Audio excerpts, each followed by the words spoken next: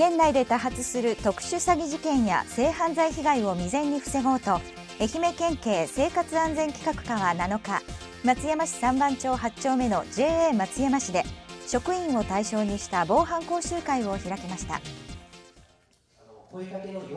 講習会に参加したのは窓口や障害を担当する女性職員などおよそ90人です。はじめに県警生活安全企画課の佃和弘警部補が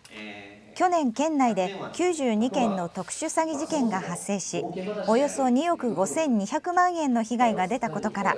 窓口や ATM 現金自動預け払い機での声かけは金融機関の防犯の第一歩と徹底を呼びかけました。性犯罪の防犯講習では女性警察官が防犯グッズを活用するといった被害に遭わないための5か条を紹介しましたまた護身術の実習では職員が警察官の手本を真似しながら加害者から手を振りほどく方法などを実践していました。